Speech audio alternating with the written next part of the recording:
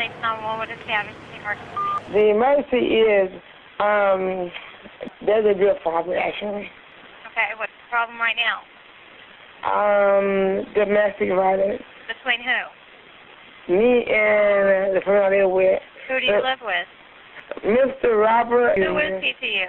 He's not actually roommate. What are you arguing about? Beer? Huh? Just took my beer out of my hand. That's a lie. Okay, I'll get somebody else. Thank you, thank you, thank you. Please hurry. Campbell Police 911. What is the address of the emergency? There were two cops just came to my apartment for no reason. For no reason. Yeah, for no reason. Nobody called him out here. Yeah, somebody did. I did it.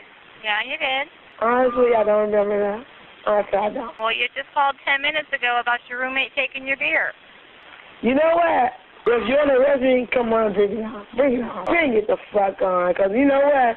I don't need this fucking bullshit from no motherfucking body. Yeah, please, 911, what is the address? Come arrest me. Hello? Your address right now. Come arrest me. Alright, I'll let him know. Thank you. Bye, bitch.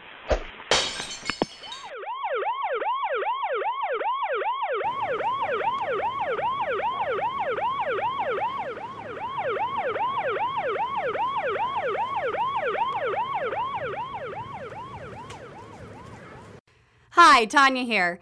If you have any dumb videos of anybody sitting around, send them in. If we use them, you get paid. So what are you waiting for? Send them in. I want to see them.